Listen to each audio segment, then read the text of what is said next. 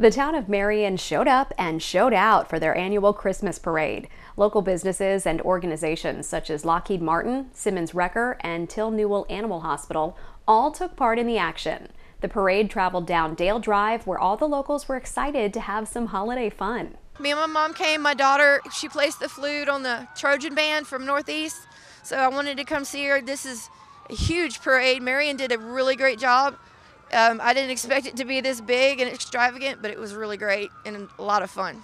While the parade was delayed originally due to bad weather, it's clear it was worth the wait.